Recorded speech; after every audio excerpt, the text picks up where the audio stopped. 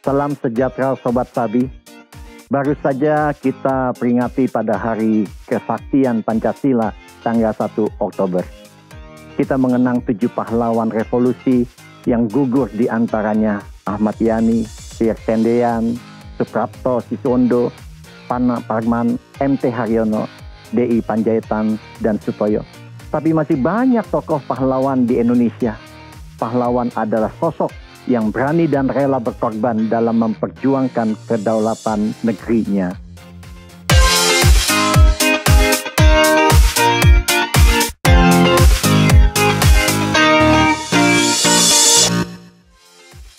Sobat Sabi, ada beberapa ciri dari mereka yang dapat kita sebut sebagai seorang pahlawan. Pertama, pahlawan itu punya keberanian. Kita tentu tahu cerita tentang Raja Daud. Secara fisik ia tidak layak menjadi seorang raja atau pahlawan. Mengapa?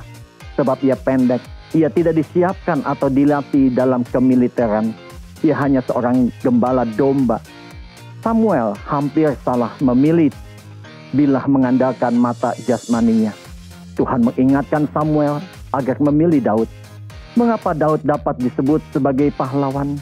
Daud punya keberanian menghadapi Goliat yang tinggi besar dan pasukannya yang begitu banyak.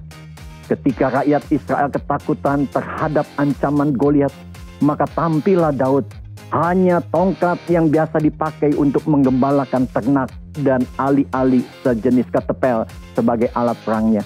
Goliat mati di tangan Daud karena batu ali-ali menghantam bagian kening dari kepala Goliat.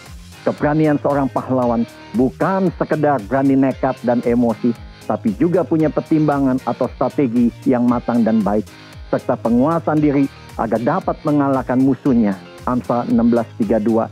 Orang yang sabar melebihi seorang pahlawan, orang yang menguasai dirinya melebihi orang yang merebut kota. Kedua, pahlawan itu rela berkorban para pejuang mempunyai jiwa berkorban.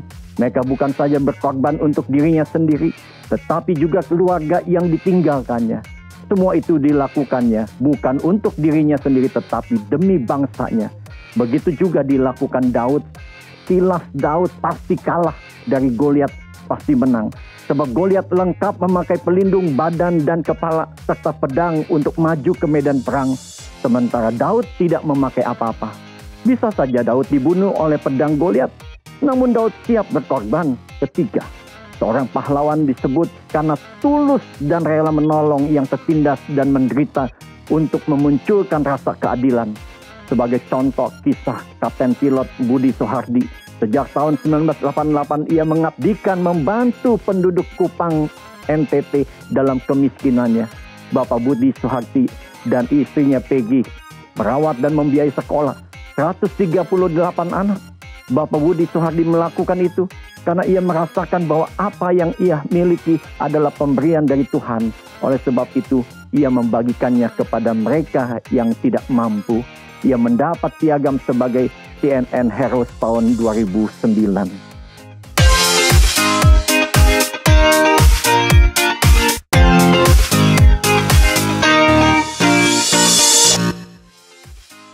Sobat Sabi. Menjadi pahlawan bukanlah melakukan perkara-perkara yang besar saja.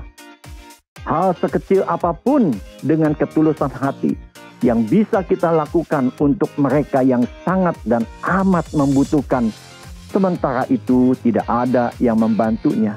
Tindakan kita sudah menjadi pahlawan bagi mereka. Jadilah seorang pahlawan.